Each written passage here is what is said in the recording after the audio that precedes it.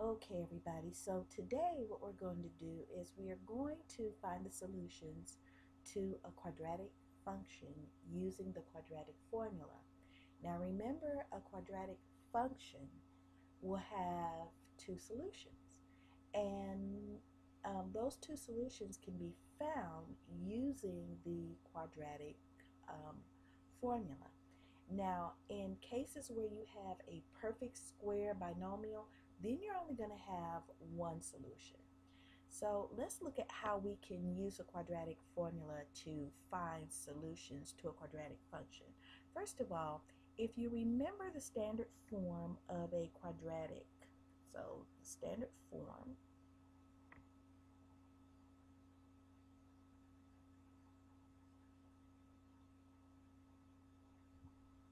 this should be standard.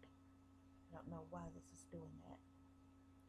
Is ax squared plus bx plus c, where a is the numerical coefficient on the squared term, and it tells you which way the um, parabola or the graph of the function is going to be turned. Remember when a is positive, then the parabola is going to open upward and if it's negative then it's going to open downward. And then b is the numerical coefficient on the x term and c is our constant term.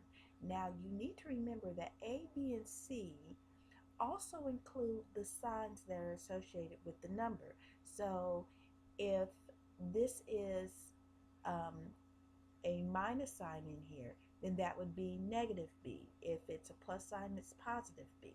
But anyway, let's go over here and let's see how this all works.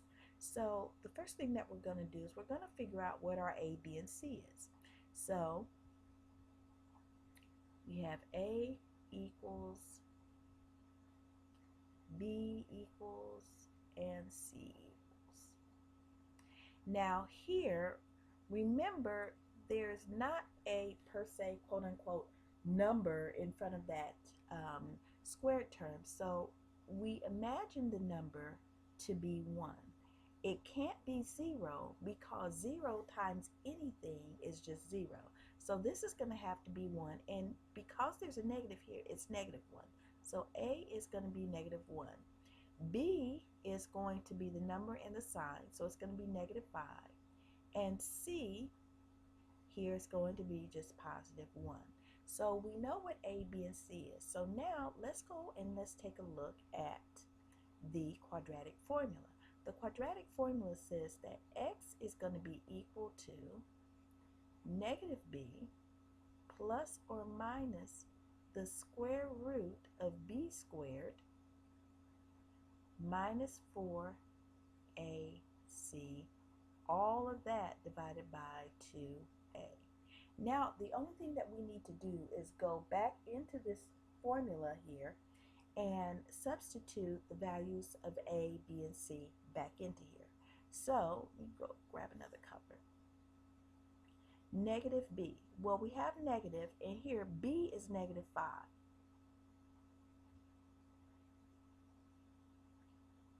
Plus or minus. Now I know some of you might be tempted to say, oh okay I have a negative there, all I have to do is just write the 5. No, you need to write if b is negative, you're going to write the negative and then you're going to write whatever um, numerical coefficient b represents in the function, okay? So we don't fudge anything, we write what b actually is, plus or minus the square root of b squared well, b is negative 5, so that's negative 5 squared minus 4 times a is negative 1. Let me extend this little. And c is 1. All divided by 2a, and a is negative 1. So we have 2 times negative 1. So let's move that down a little bit.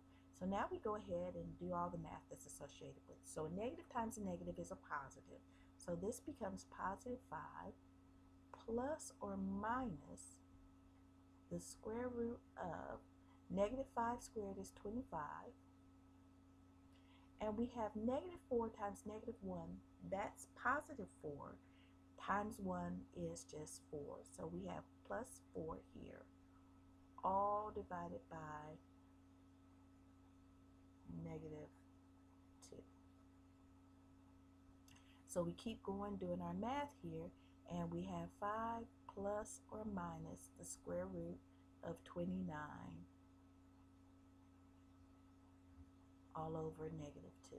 Now, some people seem to think that numbers like this shouldn't be in a solution. Well, why?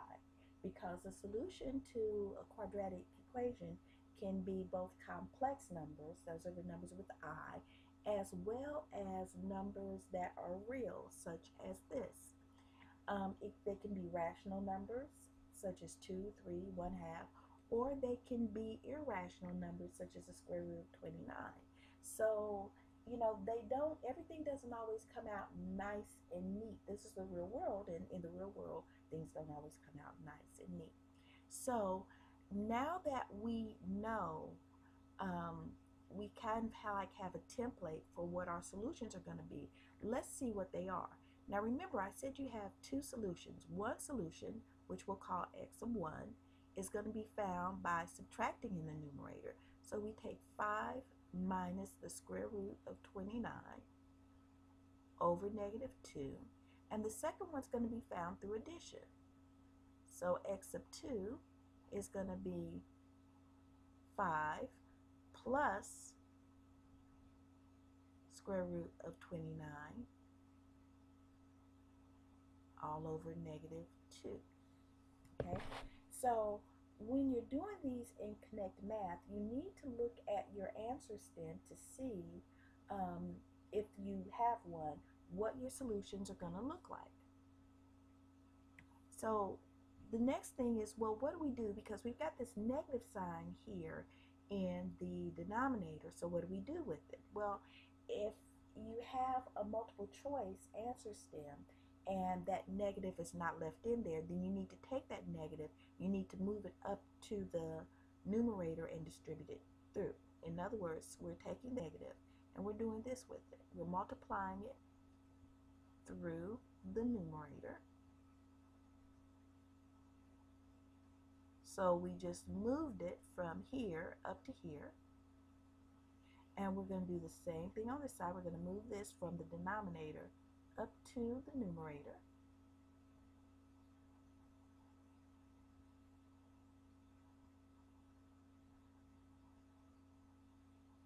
So we have, when we distribute this through, we've got one of the solutions being negative 5 plus the square root of 29. So we take this, we distribute it here, we get negative 5. We distribute it here, we get a negative times a negative. That's our positive. And it's 29. If I said 25, I misspoke. Divided by 2. And here we have negative 5 minus the square root of 29 divided by 2. So those are our two solutions. Now, oftentimes you will be asked to write solutions in what is called a solution set. Now when we go to write solutions in a solution set, which are the curly brackets, remember we always go in numerical order from lowest to highest.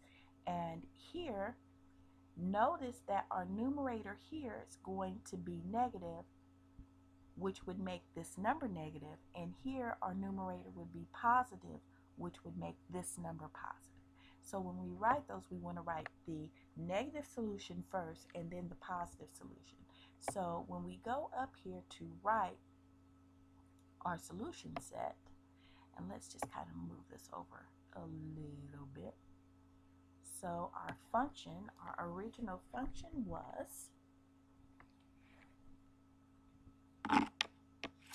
f of x equals oops, don't know why this isn't acting right today, negative x squared minus 5x plus 1. And the solutions for this that we figured out using the quadratic formula is negative 5 minus square root of 29 divided by 2. And the other one is, excuse the sloppiness of it. Let me try to make that just a little bit better for you.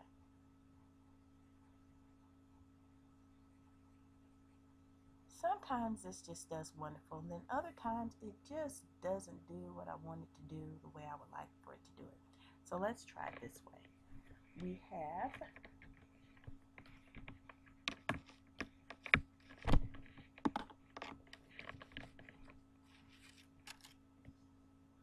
we have negative 5 minus square root 29 divided by 2, a little bit, not much, and negative 5 plus square root of 29 divided by 2. And those are the two solutions in our solution set. So what happens is when we plug either of those numbers in for x back into our quadratic function, then when we do all of the math, then what's going to happen is this function is going to equal 0. So that's how you use a quadratic formula, and I hope this helps um, most of you. And uh, the next tutorial will be on completing the square. So talk to you guys later. Bye-bye.